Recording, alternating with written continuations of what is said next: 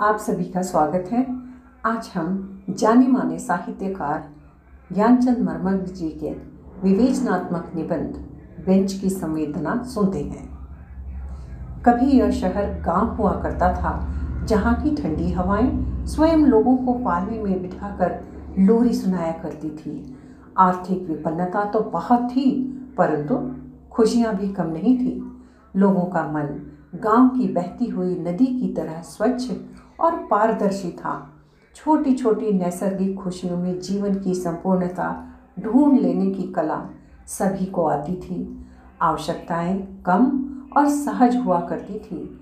लोग भोले, सरल, मेहनती और ईमानदार होते थे।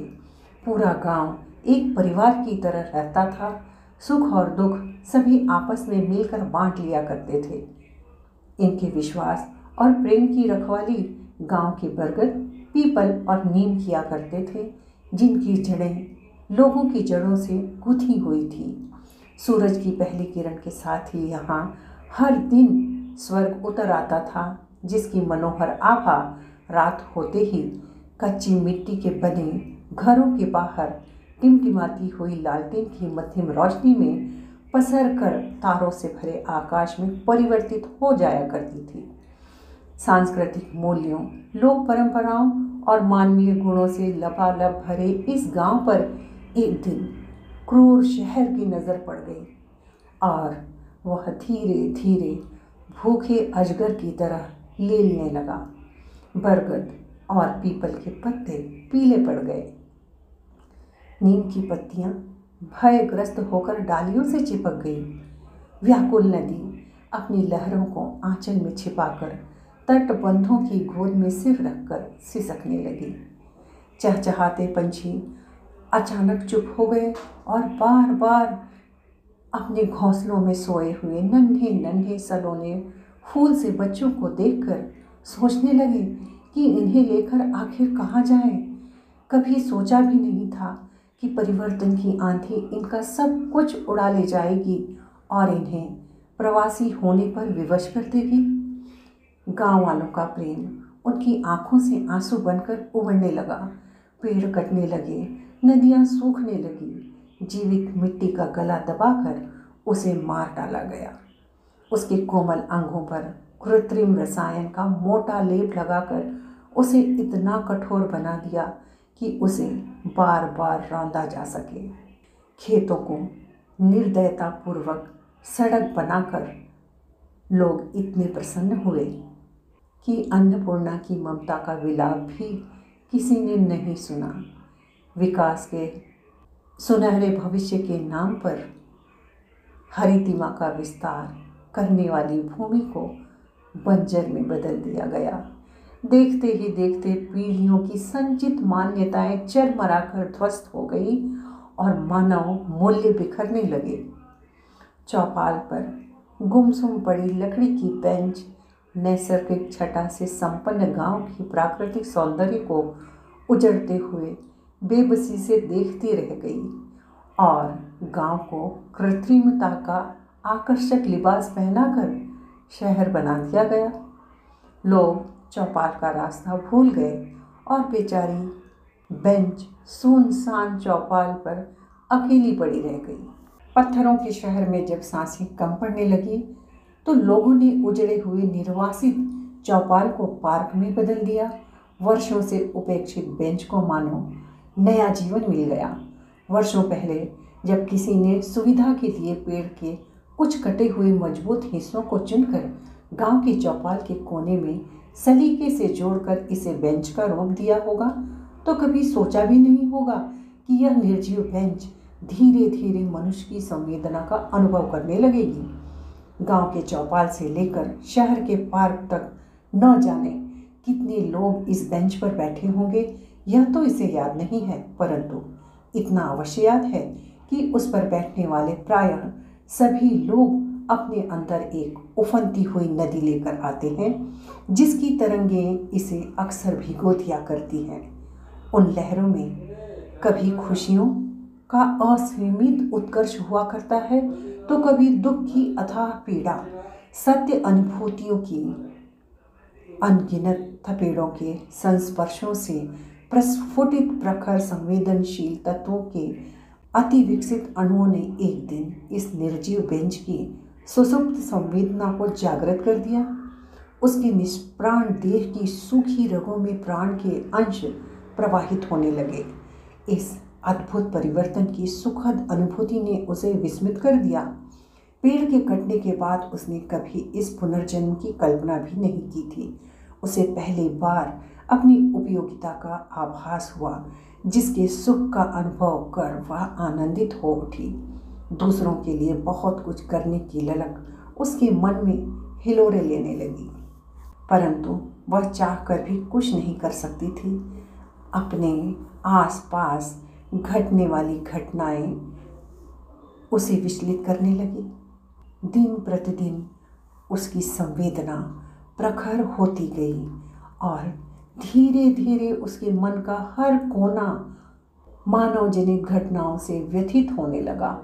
ये घटनाएँ जैसे जैसे उसके जीवन के खुरदरे पन्नों पर नया अध्याय लिखती गई वैसे वैसे उसकी सोच और संवेदनशीलता पूर्णमासी के चंद्रमा की तरह निखरती चली गई। जिस दिन उसे पानी और आँसू में अंतर समझ में आया था, उस दिन वह घंटों रोती रही। उसे अच्छा लग रहा था कि वह मनुष्यों की तरह सोच सकती है, समझ सकती है, परंतु उसे यह अच्छा नहीं लग रहा था कि मनुष्य सब कुछ जानते हुए भी पानी और आँसू के अंतर को क्यों भूल जाते हैं? पार्क में आने वाले हर व्यक्ति को वह बड़े ही ध्यान से देखती थी और उनकी पड़ताल किया करती थी। उनके बदन की भंगिमा और चलने के ढंग से उनके मन की छटपटाहट को बड़ी आसानी से पढ़ लिया करती थी। पार्क में टहलने वाला हर व्यक्ति उसके लिए एक प्रश्न होता था और उस पर बैठने वाला व्यक्ति एक पहेली, जिसे सुलझाने का वह भरसक प्रयास करती थी। इस प्रक्रिया में वह उनके जीवन में उतरकर बहुत ही सूक्ष्मता से हर आयाम का विश्लेषण किया करती थी। पहले उनकी बातें सुनकर, उनके व्यवहार के अंतिम छोर तक पहुँचती, फिर उन्हें स्पर्श कर उनकी अनुभूतियों को बड़े सलीके से अपने विचारों में ढाल लेती थी। यह महसूस करके उसका मन दुखी हो जाया करता था कि लोगों की सोच उन्हीं के चारों ओर भटक रही है। उनके आसपास क्या हो रहा है, इस बारे में वे पूरी तरह अनभिज्ञ हैं। अपनी छटपटाहट को अपने मन में दबाए हुए सभी एक दूसरे को देखकर मुस्कुरा तो रहे हैं, परंतु उनके अंदर एक ज्वालामुखी धधक रहा है।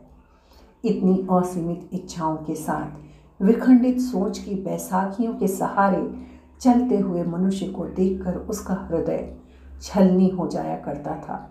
सोचने लगती, गाँव के वे दिन कितने अच्छे थे। लोगों के व्यवहार में कितना अपनत्व कितनी मिठास, कितना खुलापन हुआ करता था। सभी के मन में शांति, मुख पर प्रसन्नता और हृदय में संतुष्टि हुआ करती थी। ये सब आज किसी के पास नहीं है। आज लोगों के पास पैसा, सुविधा, संपन्नता और अनगिनत साधन हैं। परंतु आंतरिक सुख का एक भी सामान नहीं है। जीवन को तराशने की होड़ में लोग जीवन से ही दूर हो गए हैं। पार्क में लोगों को टहलते हुए देखकर उसे संतोष होता था कि लोग एक एक सांस जोड़ने की होड़ में लगे हैं। लोगों के अंदर जीने की इच्छा तो प्रबल है, परंतु वे किस लिए जीना चाहते हैं, यह किसी को भी नहीं मालूम। दृष्टि की चिंता सभी को है, परंतु दृष्टिकोण की चिंता किसी को नहीं है। कितनी पीड़ा होती है जब पार्क में कई लोग इकट्ठे होकर ज़ोर ज़ोर से ताली बजाते हैं, खुश होने का अभिनय करते हैं और कृत्रिम, हँसी चेहरे पर पोत लेते हैं। समझ में नहीं आता जो अपने अंदर है ही नहीं। उसे बाहर ढूँढने का क्या अभिप्राय? प्रकृति प्रदत्त आंतरिक हँसी के स्पंदन की परछाई को इस तरह जबरन चेहरे पर मढ़कर भला कौन सा सुख मिल पाएगा? कितना कुछ बदल गया है। मनुष्य जितना संपन्न हुआ है, उतना ही बेबस हो गया है। पहले लोग जीवन की खुशियाँ बांटने की बातें किया करते थे, परंतु आज एक दूसरे की खुशियाँ छीनने की बात करते हैं। जीवन के मूल में जहाँ हमारे पुरखों ने आनंद की स्थापना की थी, उसका स्थान उलझन, पीड़ा, विषाद, मृग तृष्णा, बेबसी और भय ने ले लिया है। लोगों को न जाने क्या खोने का डर है। लोग अपनी परिणति अपने हाथों से लिख रहे हैं और किसी पूर्व नियोजित घटना की तरह घटित होते जा रहे हैं। उनकी छटपटाहट का सबसे बड़ा कारण उनकी अपनी लालसा और दूषित विचार हैं। वे इसे अच्छी तरह जानते हैं, परंतु जानबूझकर अनभिज्ञ बने हैं। मनुष्य होने की प्रस्तावना पर उन्होंने स्वयं प्रश्न चिन्ह लगाया है। जीने का स्वांग रचने वाले ये लोग स्वयं अपनी हत्या के दोषी हैं। बूढ़ी बेंच ने कई पीढ़ियों का उदय और अवसान देखा है। लोगों को प्रकृति के सुंदरतम सृजन, मानव देह की झूठी विश्वसनीयता के बल पर समय को चुनौती देते हुए देखा है और समय के उसी चुंबकीय गर्भ में लोगों को समय असमय समाते हुए भी देखा है। जिन बच्चों की निश्चल हँसी को चिड़ियों का स्वर बनते हुए देखा है, उन्हीं बच्चों के चहकते बचपन को उम्र की सीढ़ी पर पाँव दर पाँव चढ़ते हुए बुढ़ापे की असहाय सिस्कियों में ढलते हुए भी देखा है। जहाँ कुछ भी सहेजने जैसा नहीं है, सिवाय विचारों की सुंदरता और जीवन मूल्यों के। पारदर्शी जीवन को लोगों ने विभिन्न प्रकार के आडंबरों से ढक रखा है। समय सभी को स्वयं को साधने का पर्याप्त समय देता है, परंतु समय को क्रूर कहने वाला मनुष्य समय से भी आगे निकलने की चाह में अपना सब कुछ गंवा बैठता है। अपने जीवन की लंबी यात्रा में इस बेंच ने गुमान करने वाले, न जाने कितने लोगों के मानसिक तत्वों को तार तार होकर बिखरते हुए देखा है। अशेष को शेष और विशेष को अवश्य होते हुए देखा है। समय के परिवर्तन की इस अग्नि में और भी बहुत कुछ झुलसा है। इतना कि आँखें बंद होने पर भी सब कुछ साफ़ दिखाई देता है। किसी ने कल्पना भी नहीं की होगी कि इतने अल्प समय में मानवीय गरिमा का इतना पतन हो जाएगा। वैचारिक मूल्यों की आत्मा पल पल टूटकर बिखर रही है। समाज की नींव जो ऊँचे आदर्शों और आचरण की शुचिता पर डाली गई थी, उस पर टिकी सामाजिक प्रतिबद्धता की हाट में नैतिकता खुले आम नीलाम की जा रही है। सभ्यताओं को विघटित और अपमानित होते देखकर भी लोग चुप हैं। यह सब देखकर बेंच की संवेदना चिंघाड़ उठती है। फिर भी मनुष्य की तंद्रा भंग नहीं होती। यह जानते हुए भी कि शरीर नश्वर है, साँसें सीमित है। धरती पर उनका अस्तित्व प्रकृति के अतिथि से अधिक कुछ भी नहीं है। फिर भी वे स्वयं से ऊपर उठकर नहीं सोचते और अपने अहंकार, व्यामोह की कंदराओं से बाहर नहीं निकल पाते। सब कुछ जानते हुए भी लोग विघटन के रास्ते पर चलकर सामाजिक विकृतियों के कारक बन रहे हैं। मनुष्य प्रकृति का एकमात्र ऐसा प्राणी है जो अपने हाथों से विष घोल कर पी रहा है। विकास अति आवश्यक है, परंतु विकास के नाम पर आधुनिकता का जो जहर बोया जा रहा है, वह प्राणघातक है। ऐसा विकास जो जीवन से तादाद में स्थापित न कर सके, भला किस काम का? विकास और विध्वंस की कहानी एक दूसरे के सापेक्ष चलती है।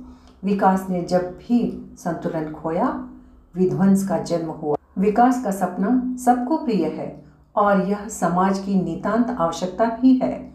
परंतु विकास की दिशा गति, सीमा और परिणाम के बारे में भी विमर्श होना आवश्यक है। विकास जन परिस्थितियों में हमारी पहचान और संवेदना कितनी सुरक्षित है, इसका भी पूर्व निर्धारण होना ज़रूरी है। आर्थिक व्यामोह और आधुनिकता जन्य विकृतियाँ अगर मानवीय संबंधों की गरिमा को कलंकित करने लगे और सांस्कृतिक क्षरण का कारण बन जाए तो समझ लेना चाहिए कि हम जिस विकास के नाम पर गौरवान्वित हो रहे हैं। वह हमें विध्वंस की ओर ले जा रहा है। और आज हम उसी स्थिति से गुजर रहे हैं। बेंच बहुत उदास और उद्विग्न है।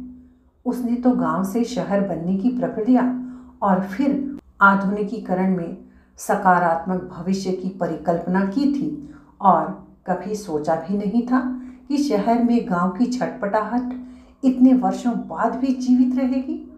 बेचारी बूढ़ी बेंच के लिए यह सब और अधिक देख पाना संभव नहीं था। वह कमज़ोर और बीमार अवश्य थी, परंतु टूटी नहीं थी।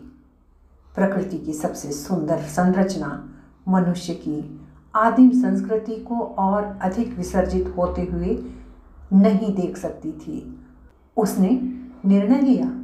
कि मनुष्यों की आने वाली पीढ़ियों की आहुति इस अग्नि कुंड में नहीं होने देगी और सभ्यता विहीन विकास के विरोध में अपनी आवाज़ उठाएगी, परंतु उसकी आवाज़ आज तक किसी ने भी नहीं सुनी।